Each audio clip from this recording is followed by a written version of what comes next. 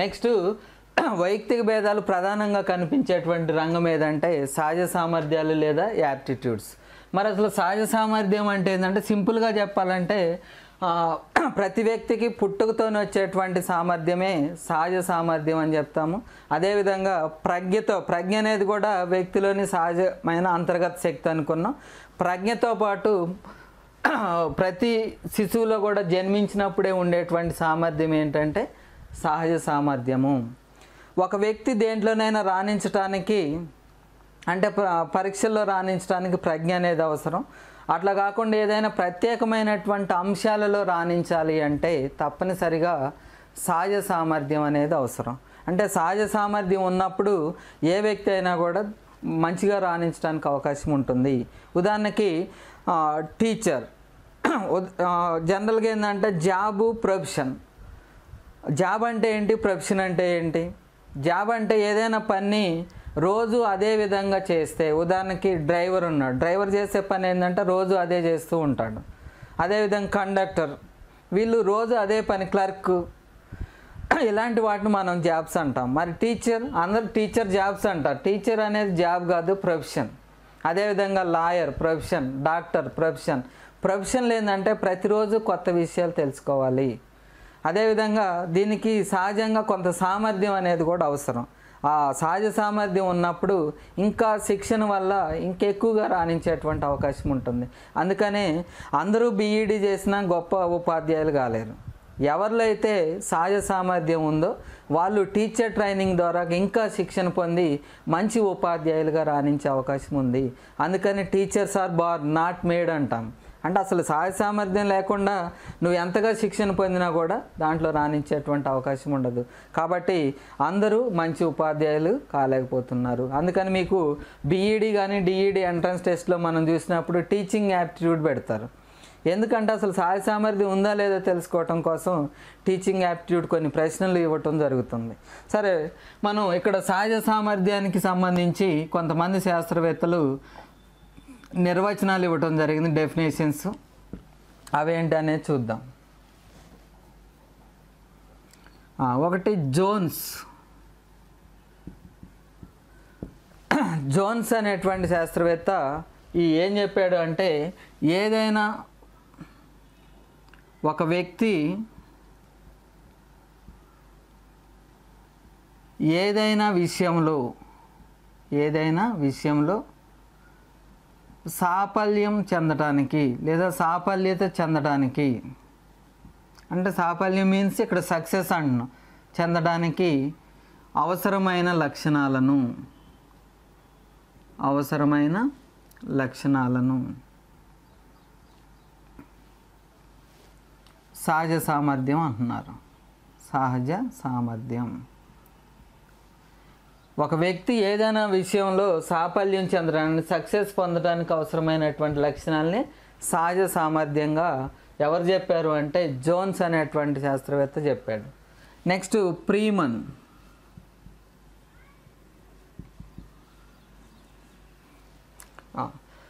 Freeman ఏం చెప్పాడు అంటే విద్యారంగంలో కానీ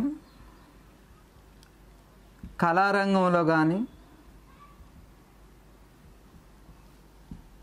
ఏదైనా వృత్తిలో కానీ ఏదైనా వృత్తిలో కానీ రాణించడానికి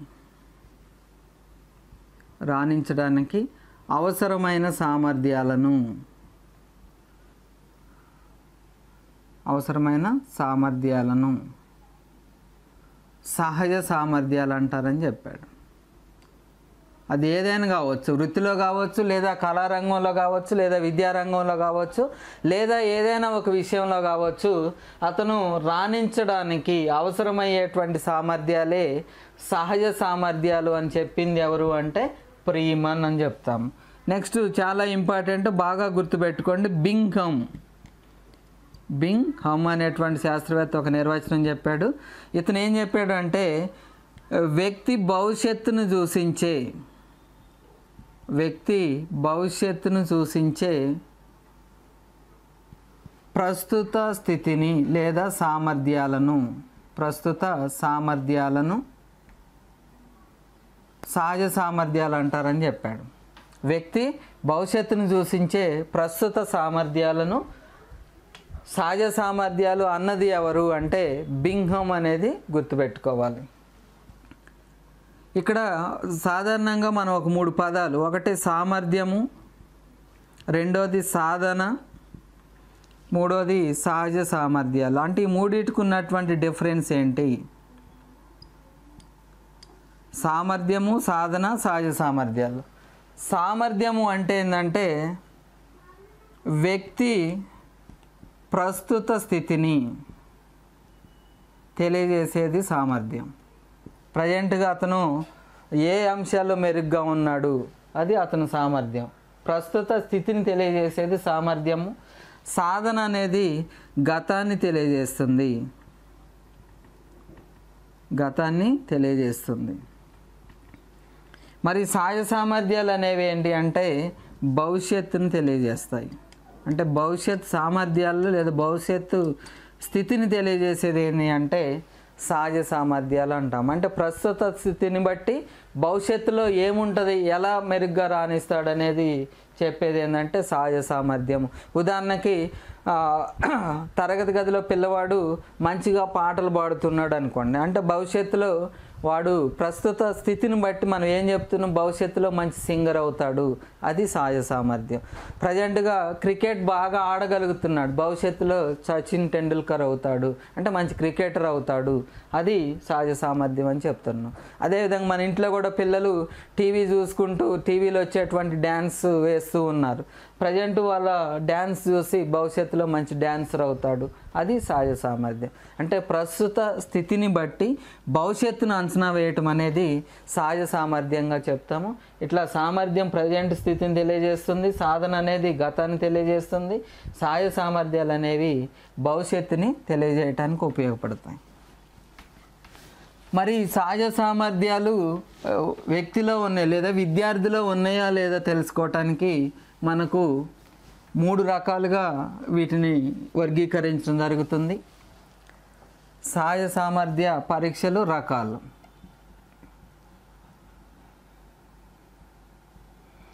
అంటే వ్యక్తిలో ఉన్నటువంటి సహజ సామర్థ్యాన్ని గణించడానికి సహజ సామర్థ్య పరీక్షలు ఉపయోగపడతాయి. ఇవి ఎన్ని రకాలు అంటే మూడు రకాలుగా చెప్తాము.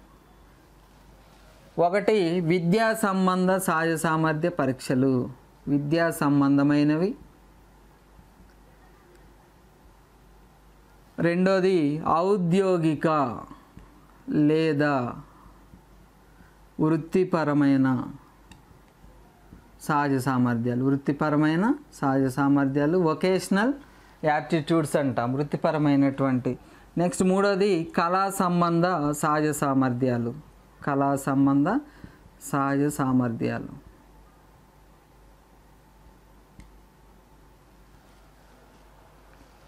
ఇట్లా విద్యా సంబంధమైన దేనికంటే విద్యా సంబంధమైన విషయాల్లో ఏ విషయంలో మెరుగ్గా రాణించడానికి అవకాశం ఉంటుంది తెలుసుకోవడానికి. అందుకని మనం పాఠశాల ఉపాధ్యాయుడు నువ్వు బైపీసీ తీసుకో. అంటే టెన్త్ క్లాస్ అయిపోయిన తర్వాత ఉపాధ్యాయుడిని పిల్లలు అడుగుతారు. అడిగితే వాళ్ళ యొక్క ప్రజెంట్ స్థితిని బట్టి ఉపాధ్యాయుడు ఏం చెప్తాడంటే నువ్వు బొమ్మలు బాగా వేస్తావు అదేవిధంగా ఓర్పు సహనం ఎక్కువ కాబట్టి నువ్వు బైపీసీ తీసుకో అదేవిధంగా నువ్వు మ్యాథమెటిక్స్లో అసాధారణ ప్రతిభ ఉంది కాబట్టి నువ్వు ఎంపీసీ తీసుకొని సజెషన్స్ ఇవ్వటం జరుగుతుంది.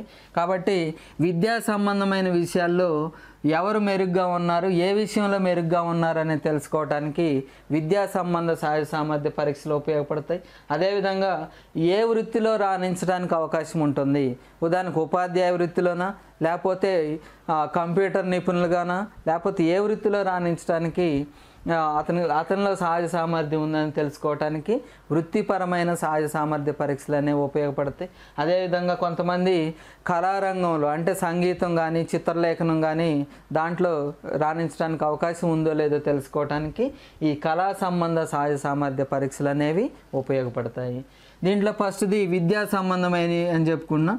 మరి విద్యా సంబంధమైనటువంటి సహజ సామర్థ్య పరీక్షలకు సంబంధించి మనం చూసినప్పుడు విద్యార్థులు దేంట్లో రాణించడానికి అవకాశం ఉంటుంది? విద్యార్థులు దేనిలో రాణిస్తారు? అదేవిధంగా విద్యార్థులు ఏ విషయం వైపుకి వెళ్తే అంటే ఏ సబ్జెక్ట్ వైపు వెళ్తే వాళ్ళు మెరుగ్గా రాణించడానికి అవకాశం ఉందనేది ఈ విద్యా సంబంధ సహజ సామర్థ్య పరీక్షల ద్వారా మనం తెలుసుకోవచ్చు. అయితే విద్యా సంబంధమైనటువంటి సహజ సామర్థ్యాలను పరీక్షించడం కోసం ప్రస్తుతం ఎక్కువగా ఉపయోగిస్తున్నటువంటి పరీక్ష ఏది అంటే డిఏటీబీ డిఏటీబీ దీంట్లో గతంలో చాలాసార్లు ప్రశ్న అడగటం జరిగింది. దీని ఫుల్ ఫామ్ కూడా ఏంటి అంటే డిఏటిబి అంటే డిఫరెన్షియల్ యాప్టిట్యూడ్ టెస్ట్ బ్యాటరీ అంటాము. Differential differential aptitude test battery. దీన్ని తెలుగులో ఏమంటారు అంటే భేదాత్మక సహజ సామర్థ్య పరీక్ష మాల అంటారు.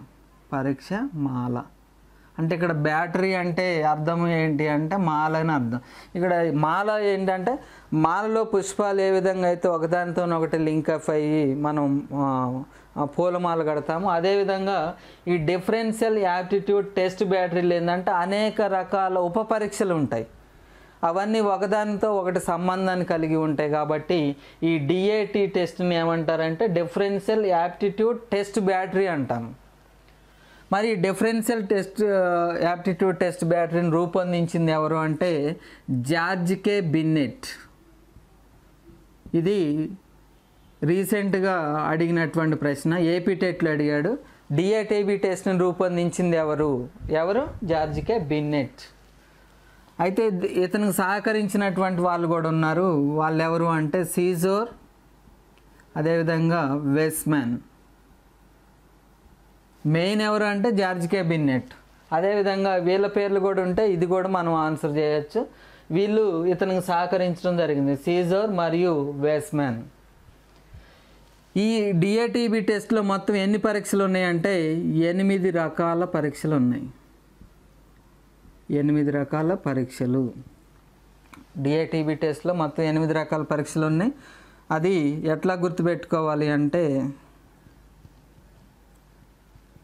సరే దీనికి ప్రత్యేకంగా అర్థం ఏమి లేదు. కాకపోతే ఇప్పుడు విబ్జిఆర్ అన్నాం. విబ్జిఆర్కి ప్రత్యేకంగా అర్థం లేదు కానీ వి అంటే ఏంటి అట్లా మనం గుర్తుపెట్టుకుంటాం. అట్నే ఇక్కడ సిఎం వ్యాన్ ఎస్ఎస్జి ఈ పదం గుర్తుపెట్టుకుంటే ఈ ఎనిమిది రకాల పరీక్షలు ఏంటి అనేది మనం సులభంగా చెప్పేటువంటి అవకాశం ఉంటుంది. CMN CM VAN SSG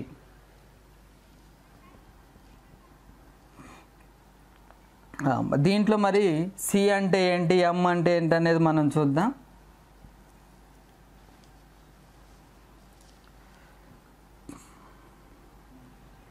comprehension ability comprehension ability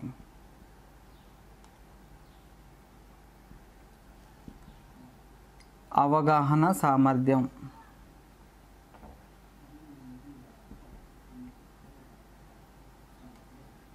సామర్థ్యం. నెక్స్ట్ ఎం అంటే మెకానికల్ ఎబిలిటీ మెకానికల్ ఎబిలిటీ యాంత్రిక సామర్థ్యము. యాంత్రిక సామర్థ్యం వి అంటే verbal ability verbal ability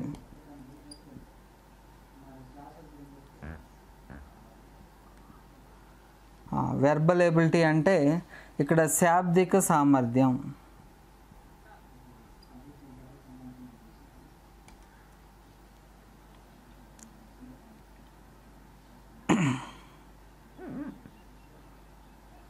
ఎన్ అంటే న్యూమరికల్ ఎబిలిటీ న్యూమరికల్ ఎబిలిటీ సంఖ్యా సామర్థ్యం.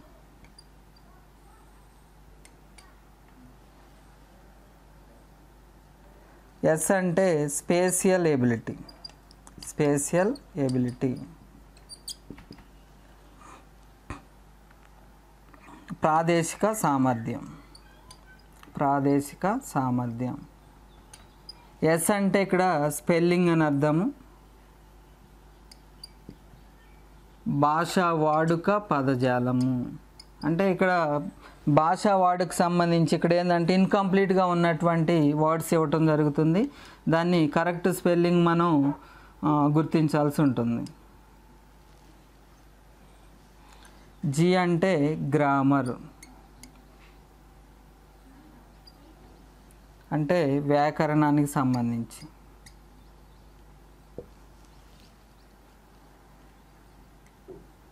ఇది ఆగమన సామర్థ్యం.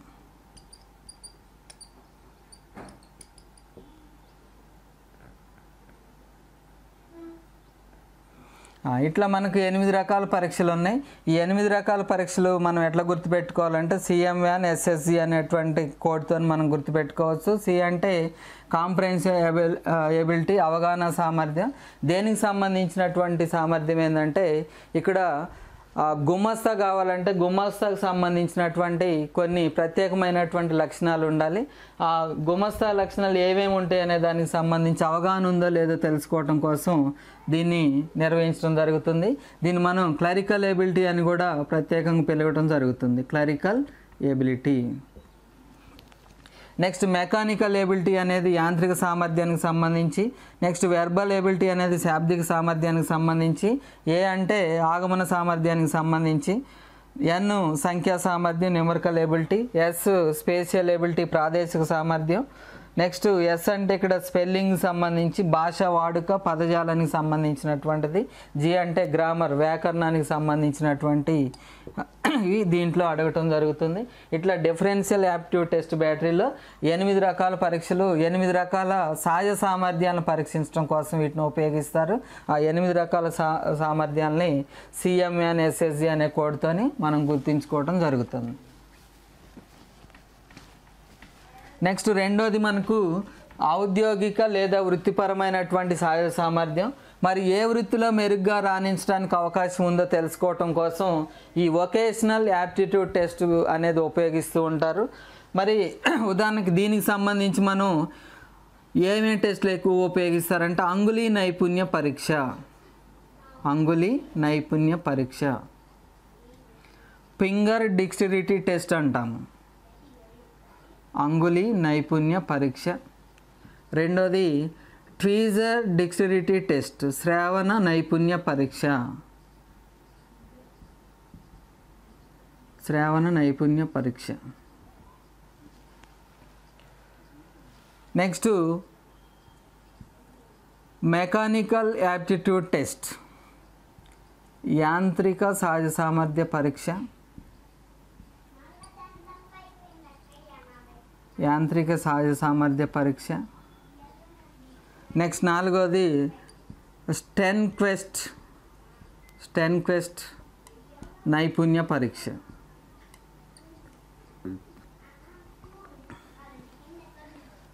ఇట్లా మనకు ఈ వృత్తిపరమైన అంటే ఏ వృత్తిలో రాణించడానికి అవకాశం ఉంటుంది అనేది తెలుసుకోవటానికి మనకు ఈ అంగుళీ నైపుణ్య పరీక్ష ఉపయోగపడుతుంది. అదేవిధంగా శ్రావణ నైపుణ్య పరీక్ష యాంత్రిక సహాయ సామర్థ్య పరీక్ష స్టెన్ కేస్ట్ నైపుణ్య పరీక్ష ఉపయోగపడుతుంది. అదేవిధంగా దీంట్లో ఇంకా general clerical test general clerical test. Next Minnesota clerical test. Minnesota clerical test. అయితే ఈ ఆరిట్లో మనకి ఈ నాలుగు కూడా యాంత్రిక సంబంధ సాయ సామర్థ్యాలను పరీక్షించడం కోసం ఉపయోగించేటువంటి పరీక్షలు. యాంత్రిక సంబంధ సాయ సామర్థ్యం. అంటే యంత్రాలు అంటే ఇది కూడా మనం వృత్తి అనుకున్నప్పుడు దేంట్లో మెరుగ్గా రాణించడానికి అవకాశం ఉంటుంది? కాబట్టి యాంత్రిక సంబంధ సహాయ సామర్థ్య పరీక్షల్లో అంగుళీ నైపుణ్య పరీక్ష ట్వీజర్ డిక్స్ ట్వీజర్ మీన్స్ మనం ఉదాహరణకు డాక్టర్ ఆపరేషన్ చేస్తున్నాడు. ఆపరేషన్ చేసేటప్పుడు ట్వీజర్స్తోని లేదా బయాలజీ వాళ్ళు ప్రాక్టికల్ చేసేటప్పుడు ట్వీజర్స్ ఉపయోగిస్తూ ఉంటారు. ఏదన్నా ఒక వస్తువుని పట్టుకోవటానికి లేకపోతే స్టెమ్ రూట్ కట్ చేసేటప్పుడు వాటిని పట్టుకోవటానికి ఉపయోగిస్తారు. అది ట్వీజర్ డిక్స్టరీ టెస్ట్ అంటాము శ్రావణ నైపుణ్య పరీక్ష. అదేవిధంగా యంత్రాలకు సంబంధించినటువంటి ఫార్ములాస్ అవన్నీ కూడా యాంత్రిక సహాయ సామర్థ్య పరీక్షలు ఉంటాయి. నెక్స్ట్ స్టెన్ క్వెస్ట్ నైపుణ్య పరీక్ష. ఈ నాలుగు కూడా యాంత్రిక సంబంధ సహజ సామర్థ్య పరీక్షలుగా చెప్తాము. ఈ రెండు కూడా ఏంటంటే గుమస్తగిరి సహాయ సామర్థ్య పరీక్షలు. జనరల్ క్లరికల్ టెస్ట్ అదేవిధంగా మిన్నెసోటా క్లరికల్ టెస్ట్. ఈ ఇది మిన్నెసోటా అనేటువంటి యూనివర్సిటీలో దీన్ని తయారు చేయటం జరిగింది కాబట్టి ఇక్కడ దీనికి పేరు మిన్నెసోటా క్లరికల్ టెస్ట్ అని రావటం జరిగింది. ఈ రెండు కూడా క్లరికల్ యాప్టిట్యూడ్ టెస్ట్కు సంబంధించినటువంటి. ఇట్లా భవిష్యత్తులో ఏ వృత్తిలో రాణించడానికి అవకాశం ఉంటుందనేది పరిశీలించడానికి ఉపయోగించేటువంటి పరీక్షలే మనకు ఔద్యోగిక లేదా వృత్తిపరమైనటువంటి పరీక్షలుగా చెప్పడం జరుగుతుంది. నెక్స్ట్ మూడోది కళా సంబంధ సహజ సామర్థ్య పరీక్షలు. అంటే భవిష్యత్తులో కళారంగంలో దేంట్లో రాణించడానికి అవకాశం ఉంటుంది? ఏ కళలో రాణించడానికి అవకాశం ఉంటుంది? చిత్రలేఖనం కానీ అదేవిధంగా సంగీతానికి సంబంధించి దేంట్లో రాణించడానికి అవకాశం ఉందో తెలుసుకోవటం కోసం దీన్ని ఉపయోగిస్తూ ఉంటారు. చిత్రలేఖనం సంగీతం. అంటే కళా సంబంధమైనటువంటి సహజ సామర్థ్యాల్లో చిత్రలేఖనం సంగీతము డ్యాన్స్ ఇట్లా ఇవన్నీ కూడా ఇమిడి ఉంటాయి. ఈ కళా సంబంధ సహాయ సామర్థ్య పరీక్షలు మనం రెండు రకాలుగా చెప్పుకోవచ్చు. ఒకటి సంగీత సంబంధ. సంగీత సంబంధ సహజ సామర్థ్య పరీక్షలు. మధ్య పరీక్షలు. ఈ సంగీత సంబంధమైనటువంటి సహజ సామర్థ్య పరీక్షలు ఏంటి అంటే సంగీతము అనేది కొన్ని విషయాల మీద ఆధారపడి ఉంటుంది లేదా కొన్ని నైపుణ్యాల మీద ఆధారపడి ఉంటుంది. అంటే మంచి సంగీత విద్వాంసులు కావాలి అంటే తప్పనిసరిగా శృతి లయ స్వర తీవ్రత. ఈ స్వర తీవ్రత ఏంటంటే మనం ఏ పాటని ఏ విధంగా పాడాలి అదేవిధంగా పాడేటప్పుడు అప్ అండ్ డౌన్స్ ఉంటాయి. అంటే ఎక్కడ రైజ్ చేయాలి ఎక్కడ లోలో పాడాలి అనేది స్వర విశేషణ అంటాము. ఈ స్వర తీవ్రత స్వర విశిక్షణ శృతి లయ అదేవిధంగా సరిగమ పగ పదనిసకు సంబంధించినటువంటి అవి కూడా మనకు సరిగమ పదనికి సంబంధించి సప్తస్వరాలు అంటాం. సరిగమ పదని. దీనికి సంబంధించి కూడా తప్పనిసరిగా కొంత అవగాహన ఉన్నప్పుడు మంచి సంగీత విద్వాంసులు అయ్యేటువంటి అవకాశం ఉంటుంది. మరి ఆ సంగీతానికి సంబంధించి వారిలో సహజ సామర్థ్యం ఉందా లేదా తెలుసుకోవటానికి దీన్ని ఉపయోగిస్తారు. దీనికి ఉపయోగించేటువంటి టెస్ట్ ఏంటి అంటే Seashore measures of measures of musical talents Seashore measures of అంటే ఇది సీజోర్ అనేటువంటి ఒక శాస్త్రవేత్త దీని గురించి చెప్పడం జరిగింది. కాబట్టి దీన్ని సీజోర్ మెజర్స్ అంటే మాపనం చేయటం. సీజోర్ మెజర్స్ ఆఫ్ దేన్ని మాపనం చేయటం? మ్యూజికల్ టాలెంట్స్ని మాపనం చేయటం. Seashore measures of musical talents అనేటువంటి టెస్ట్ను దేనికి ఉపయోగిస్తారు? సంగీత సంబంధ సహజ సామర్థ్య పరీక్షల్ని మాపనం చేయడానికి దీన్ని ఉపయోగించడం జరుగుతుంది. నెక్స్ట్ చిత్రలేఖనానికి సంబంధించి. మరి అందంగా చిత్రాలు గీయటం అనేది కూడా ఒక సహజ సామర్థ్యం. ఉదాహరణకు ప్యాబ్లో పికాసో కానీ రాజా రవివర్మ కానీ బాపు రమణలు కానీ గొప్ప చిత్రకారులుగా మనం చెప్పడం జరుగుతుంది. కాబట్టి ఈ చిత్రలేఖనానికి సంబంధించి పిల్లల్లో సహజ సామర్థ్యం ఉందా లేదా తెలుసుకోవటం కోసం ఉపయోగించేటువంటి పరీక్షే చిత్రలేఖన సహజ సామర్థ్య పరీక్ష అంటాము. దీనికి ఉపయోగి అంటే ఎగ్జాంపుల్ ఏ టెస్ట్లో ఉపయోగిస్తారు అంటే Seashore Meier Seashore Meier art judgement test. Seashore Meier art judgement test. అదేవిధంగా అడోరీ ఆర్ట్ జడ్జిమెంట్ టెస్ట్. అడోరీ ఆర్ట్ జడ్జిమెంట్ టెస్ట్ అదేవిధంగా Seashore Meier art judgement test. ఈ రెండు కూడా చిత్రలేఖన సామర్థ్యాలు ఉన్నాయా లేదా తెలుసుకోవటానికి ఉపయోగించేటువంటి సహజ సామర్థ్య పరీక్షలు. ఇట్లా మనకు సహజ సామర్థ్య పరీక్షలు మూడు రకాలు. విద్యా సంబంధమైనవి వృత్తిపరమైనటువంటి కళా సంబంధమైన సహజ సామర్థ్యాలు. మీరు బాగా సంగీత సంబంధ సహజ సామర్థ్య పరీక్షలను మాపనం చేయడానికి ఉపయోగించేటువంటి పరీక్ష పేరేది? అంటే Seashore measures of musical talents. అదేవిధంగా Seashore Meier art judgement test దేనిని మాపనం చేయడానికి ఉపయోగిస్తారు అంటే చిత్రలేఖన సహజ సామర్థ్యాన్ని మాపనం చేయడానికి ఉపయోగిస్తారు. సహజ సామర్థ్యానికి సంబంధించి బింగ్హమ్ ఇచ్చినటువంటి నిర్వచనం ఏంటి అంటే వ్యక్తి భవిష్యత్తును సూచించేటువంటి ప్రస్తుత స్థితిని సహజ సామర్థ్యం అంటారు. ఇక్కడ రీసెంట్గా డిఎస్సిలో వచ్చినటువంటి ప్రశ్న చూడండి. సహజ సామర్థ్యాలు. సహజ సామర్థ్యాలు. ఏ. ప్రస్తుత సామర్థ్యాలు. సామర్థ్యాలు. బి. భవిష్యత్ సామర్థ్యాలు. భవిష్యత్ సామర్థ్యాలు. సి. గత సామర్థ్యాలు. డి. ఏది కాదు. ఏది? ఆన్సర్ ఏది అంటే భవిష్యత్ సామర్థ్యాలు. ఇది రీసెంట్గా వచ్చినటువంటి ప్రశ్న. సహజ సామర్థ్యాలు అనేవి భవిష్యత్ సామర్థ్యాలు. మరి సహజ సామర్థ్య పరీక్షల వల్ల ఉపయోగాలు ఏంటి? సహజ సామర్థ్య పరీక్షలు ఉపయోగం.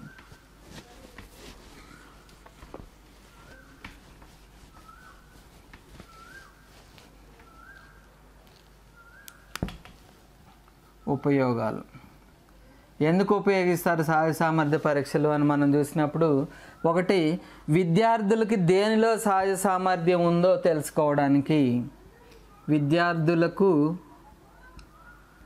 దేనిలో సహజ సామర్థ్యం ఉందో తెలుసుకోవడానికి ఈ సహజ సామర్థ్య పరీక్షల్ని ఉపయోగించడం జరుగుతుంది.